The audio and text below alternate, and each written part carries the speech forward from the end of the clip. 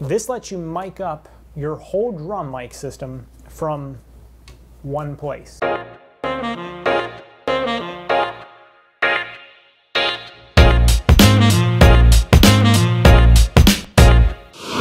Hello there, this is Andrew from Brighton Music Center. Um, we're here today with the uh, Yamaha EAD10 drum mic system, which is actually just this tiny little thing about the size of a large apple that's going to get clipped onto your, your bass drum on the batter head side, uh, feeds over to uh, the external processor that it comes with, and um, also there's some additional triggers that you can get for it to add other sounds.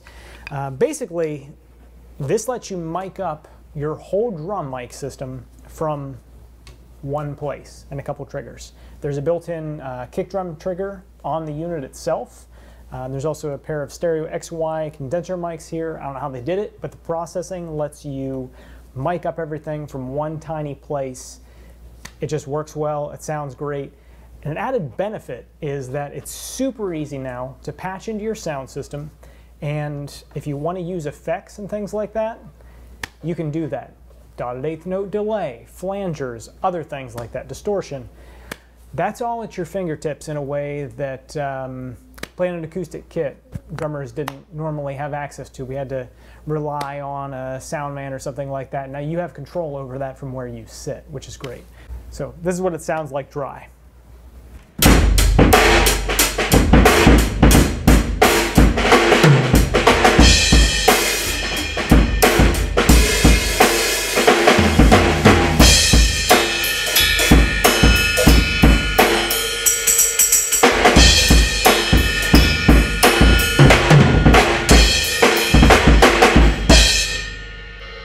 So that is, uh, that's dry.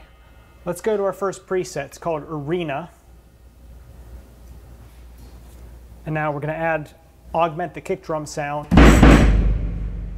First of all, there's some reverb on there. Augment the kick drum sound, which was this, which is now going to be this. Add some extra knock there above a certain threshold, which we can set here. Um, also, we're going to add in some of that reverb and we're gonna go ahead and add a little tambourine sound to the snare drum whenever I play it so hard. So now we've gone to the dry sound to something like this.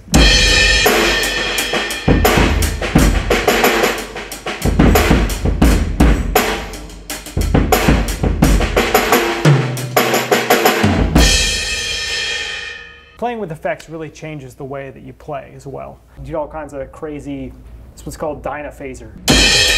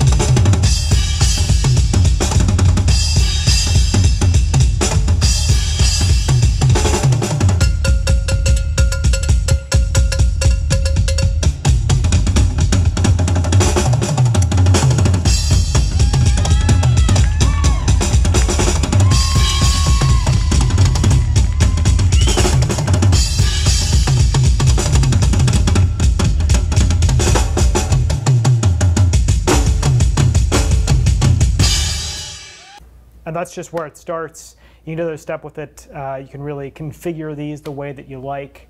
Uh, but yeah, definitely check out the Yamaha EAD10. It's an easy to use system. It sounds great and uh, really opens up uh, your drum kit to that hybrid approach without having to uh, get into a whole lot of other electronic equipment. So again, this is Brighton Music Center. Give us a call if you have any questions.